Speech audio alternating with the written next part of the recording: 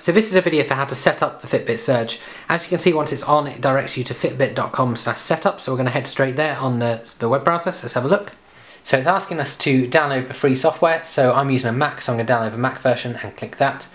Uh, and just install it on the Mac, uh, which should be easy enough. And it says uh, once you set up, you can sync your data. So this is the Fitbit main screen. It wants me to plug in the wireless sync dongle, which came with it. So I'm just going to stick that in the side of my MacBook and we should see something happen on the screen there. So that's disappeared and it says hold tight and don't unplug your wireless sync dongle so we'll just wait for that to uh, update. Um, so that's updated. Uh, it might not always do that depending on when you download the software and I want to click to set up a new Fitbit device. Uh, it says new to Fitbit existing user. I registered an account the other day so I'm just going to log into my account. Uh, of course at that point if you're a new user you could set it up with Facebook or Google uh, and it wants all my kind of details and, and things like that. Okay, so once you've logged in, it asks you to select which Fitbit device you've got. I've got a Surge, so I'm going to click Surge, uh, and it says meet your Fitbit Surge. That's what you've got with it. So it says power on your Surge and press and hold the home button for three seconds. Then what happens is you've got a number on your display which you have to enter into the screen as well, so it's 2473.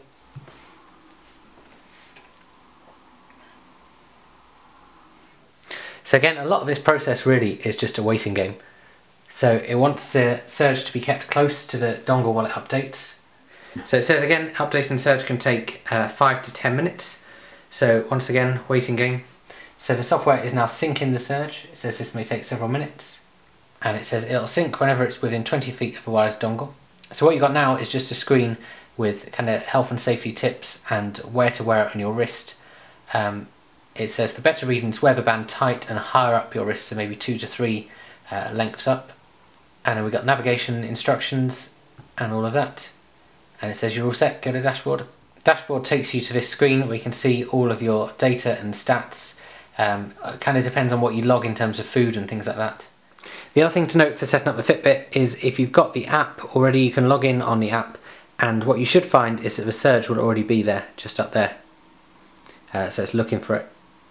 So hopefully it will find it uh, it's found it. So Surge is already in your app straight away just from setting it up on your computer, which is really good. And then of course you can do things like your alarms and your call notifications uh, and change your clock faces and your goals uh, and things like that as well on there and select which wrist it is and music control um, and all that kind of thing and you sync it on there as well. So you can set all of that up um, via your app as well. So that was just a very quick video on how to set up the Fitbit Surge. I hope you found it useful and I'll bring you guys a review soon. Don't forget to check out the unboxing video as well and some of my other videos on this channel.